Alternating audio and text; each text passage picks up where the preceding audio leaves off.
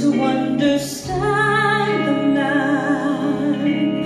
Now at least I know, I know him well.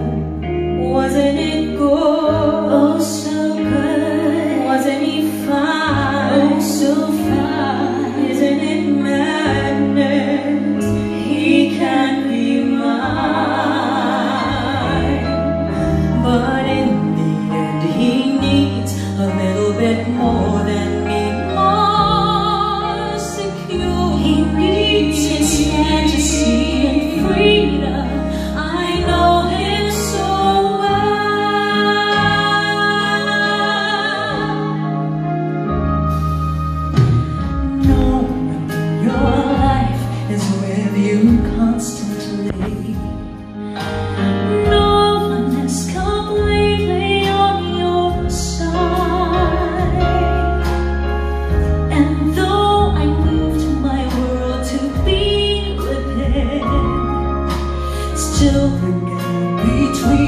sin.